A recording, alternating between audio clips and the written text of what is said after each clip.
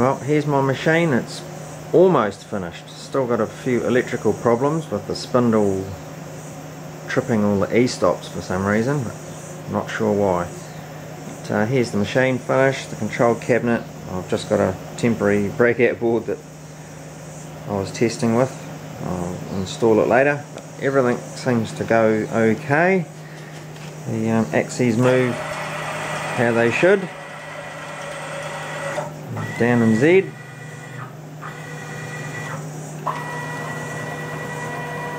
This is my Rapid is only three meters, cheap motors, but um, it all does what it should do. And um, when I hit the home button, you go reference all, then it references home. Although my initial tests with homing went up to the switch and then backed up. This just goes up to the switch and stops. I'm not sure why.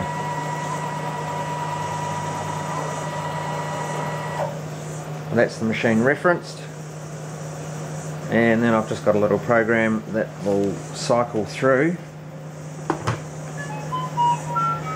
um, a warm-up procedure I guess you could call it. So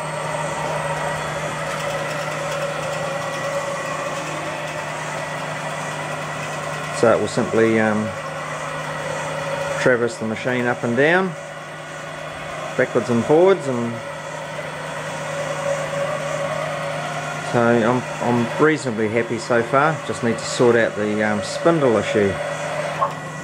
These Chinese spindles seem to have a bit of an electrical problem. I do have it earthed but there's something else going on.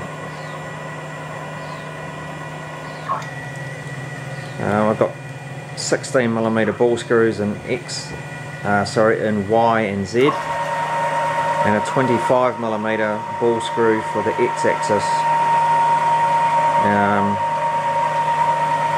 the stepper motors are 420 ounce um, from Long's Motor Company, which is uh, off eBay in China. But um, yeah, the maximum RPM seems to be only enabling them to do 3 meters.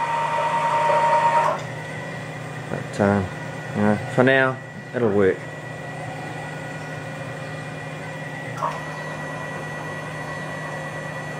So I've got um, drag chains on X, X, Y and Z. It's pretty hard to see the X-axis one, but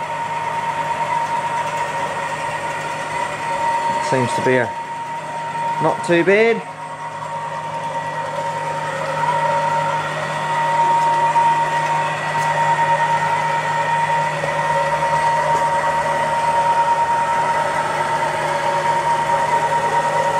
Nice and tidy.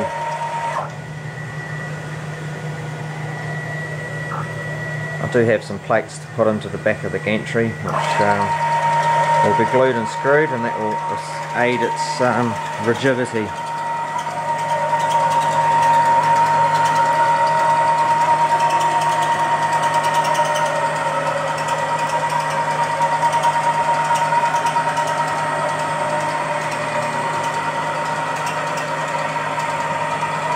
Uh, my travels are 1200 millimeters in X, 600 millimeters in Y, and 180 millimeters in Z. Uh, the spindle um, is a 24,000 RPM water cooled spindle.